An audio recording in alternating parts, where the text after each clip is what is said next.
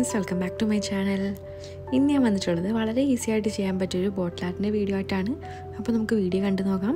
അതിന് മുന്നേ ചാനൽ ഇതുവരെയും സബ്സ്ക്രൈബ് ചെയ്യാതെ കാണുന്നവരുണ്ടെങ്കിൽ പ്ലീസ് ഒന്ന് സബ്സ്ക്രൈബ് ചെയ്ത് തൊട്ടടുത്തിട്ട് ബെൽ ബട്ടൺ ഒന്ന് പ്രസ് ചെയ്ത് അതിൽ ഓൾ എന്നുള്ള ഓപ്ഷൻ ഒന്ന് പ്രസ് ചെയ്താൽ മാത്രമേ ഞാനിടുന്ന എല്ലാ വീഡിയോസിന്റെയും നോട്ടിഫിക്കേഷൻ നിങ്ങൾക്ക് അപ്പോൾ തന്നെ കിട്ടുകയുള്ളൂ.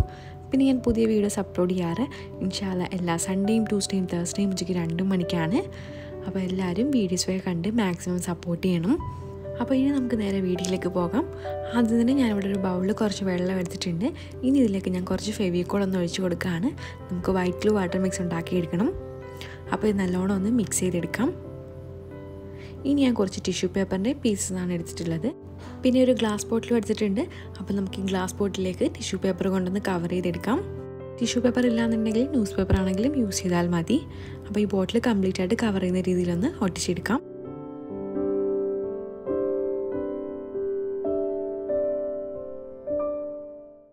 കംപ്ലീറ്റ് ആയിട്ട് കവർ ചെയ്തെടുത്തിട്ടുണ്ട്. ഇനി ഇതൊന്ന് ഉണങ്ങാനായിട്ട് വെക്കണം.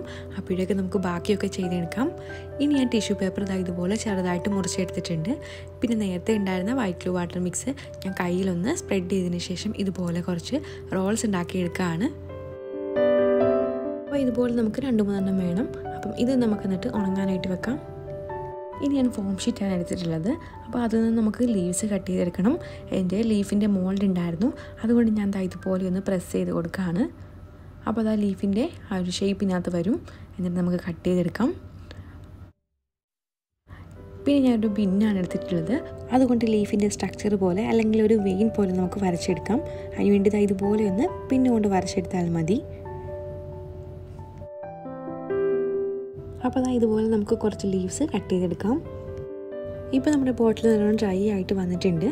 ഇനി ഞാൻ ഈന്തപ്പഴത്തിന്റെ കുരു കഴുകി വൃത്തിയാക്കി എടുത്തിട്ടുള്ളതാണ്. അത് നമുക്ക് ഈ ബോട്ടിലേക്ക് ഒന്ന് ഒട്ടിച്ചു കൊടുക്കണം. ഒരു ഫ്ലവർ പോലെ ഒട്ടിച്ചു കൊടുക്കാൻ വേണ്ടിയിട്ടാണ്.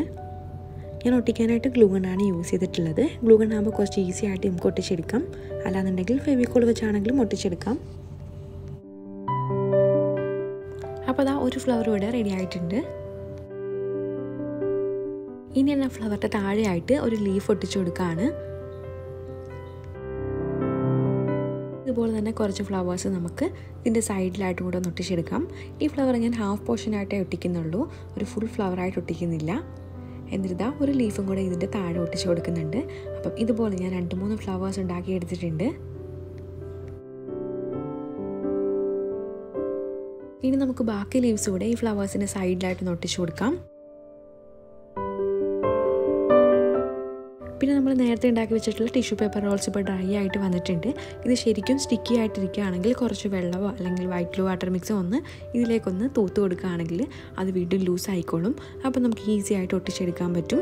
എന്നിട്ട് ഞാനത് ഇതുപോലെ ഒന്ന് ഒട്ടിച്ചു കൊടുക്കുകയാണ്.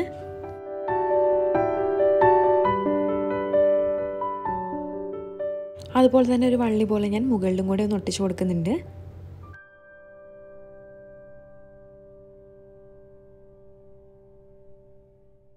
ലീഫ് കൂടെ ഇതിന്റെ സൈഡിലായിട്ട് കൂടെ ഒന്ന് ഒട്ടിച്ച് കൊടുക്കുന്നുണ്ട്. അപ്പോൾ എല്ലാം ഒട്ടിച്ചൊക്കെ എടുത്തിട്ടുണ്ട്. ഇനി ഇതിന്റെ സെന്റർ നമുക്കൊന്ന് കവർ ചെയ്തെടുക്കണം. അതിനുവേണ്ടി ഞാൻ ഇവിടെ പഴകിയ റാഗിയാണ് എടുത്തിട്ടുള്ളത്. നിങ്ങളുടെ ഇതില്ലാന്നുണ്ടെങ്കിൽ ഷുഗർ ബീഡ്സ് ഒക്കെ ഉണ്ടെങ്കിൽ അതാണെങ്കിലും എടുത്താൽ മതി. അല്ലെങ്കിൽ നിങ്ങളിൽ വേറെ എന്താ ഉള്ളത്? അതാണെങ്കിലും എടുക്കാം. അപ്പം ഇത് ഞാൻ ഒന്ന് ഒട്ടിച്ചു കൊടുക്കുകയാണ്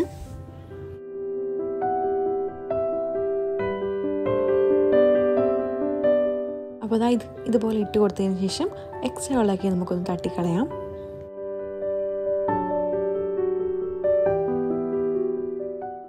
അപ്പോൾ ഇനി നമുക്കിതൊന്ന് പെയിന്റ് ചെയ്തെടുക്കണം. അതിന് വേണ്ടി ഞാൻ ഇവിടെ ബ്ലാക്ക് അക്കറിൽ പെയിന്റാണ് എടുത്തിട്ടുള്ളത്.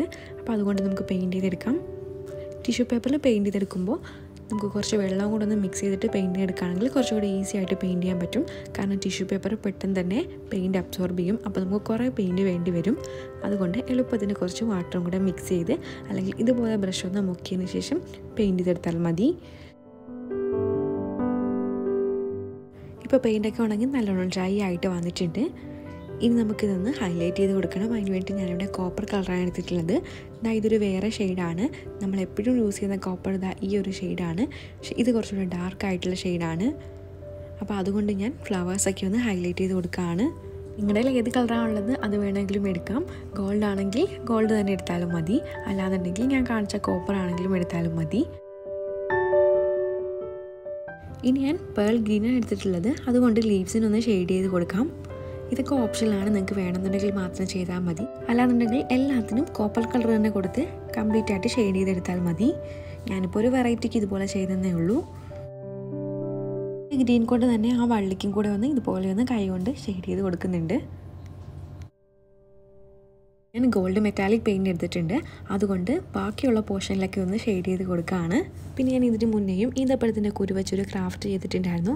ആ വീഡിയോ കാണാൻ ഇൻട്രസ്റ്റ് ഉള്ളവരുണ്ടെങ്കിൽ ഒന്ന് കണ്ടു നോക്കുക. അതിന്റെ ലിങ്ക് വേണമെന്നുണ്ടെങ്കിൽ ഞാൻ ഡിസ്ക്രിപ്ഷൻ ബോക്സിലും കമന്റ് ബോക്സിൽ പിൻ ചെയ്ത് കൊടുത്തേക്കാം.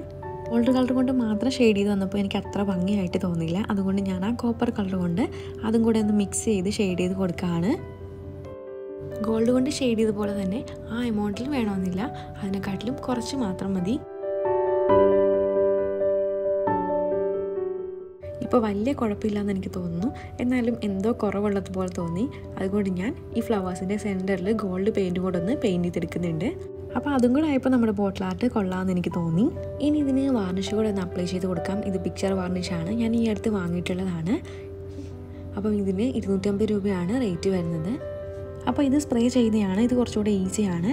ഇതല്ലാതെ സാധാ ബോട്ടിലായിട്ടുണ്ട്. അതിന് നൂറ്റമ്പത് രൂപയാണെന്ന് തോന്നുന്നു അതിന്റെ റേറ്റ് വരുന്നത്.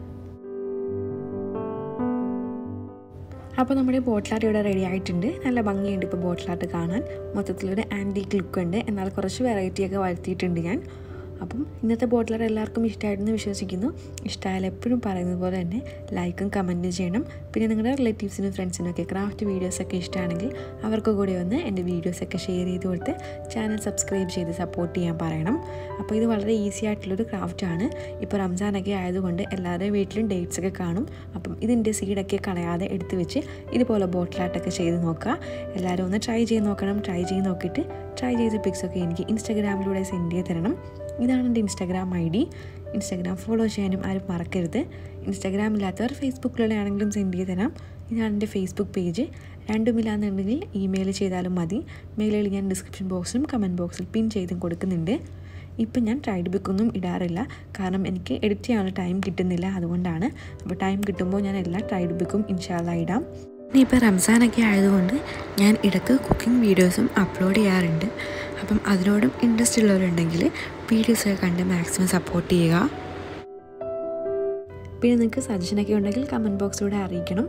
അപ്പോൾ നമുക്ക് ഇൻഷാല്ല മറ്റൊരു വീഡിയോ ആയിട്ട് വീണ്ടും കാണാം. അതുവരേക്കും ബൈ